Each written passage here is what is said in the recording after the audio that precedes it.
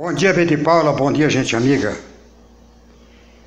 As campanhas eleitorais no Brasil, quanto mais o pessoal tenta afastá-las da influência do poder econômico, mais se aproximam da fraude.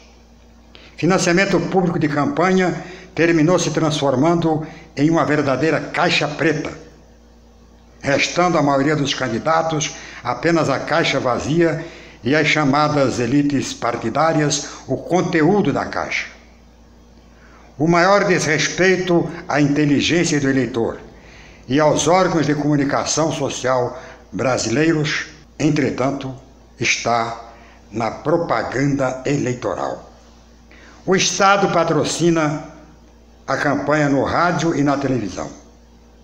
Nossos sites e blogs não podem publicar propaganda eleitoral paga somente a propaganda gratuita.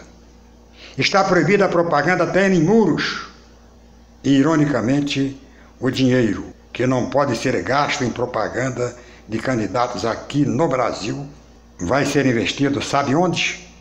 Nos Estados Unidos. É, nos Estados Unidos. E não é brincadeira, não. De lá dos Estados Unidos são as redes sociais que na eleição passada aqui no Brasil faturaram o dobro do fundo de campanhas. Quer mais? Não precisa. O que precisa é isso ser mudado.